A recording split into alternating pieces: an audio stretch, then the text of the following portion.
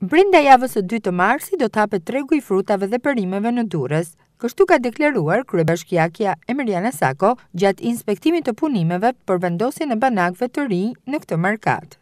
Kemi përfunduar punën në tregun agrobujqësor, ka përfunduar tërësisht puna me infrastrukturën, zëvendësimin dhe ndërrimin e komplet paneleve, si dhe rikonstruksionin e plot të objektit dhe kemi filluar me vendosjen e pjesës së parë të banakëve. Parashikojmë që brenda javës së dytë të marsit do të kemi mundësi të kemi markatën e hapur dhe gjithë tregtarët të jenë në vendet e tyre të punës.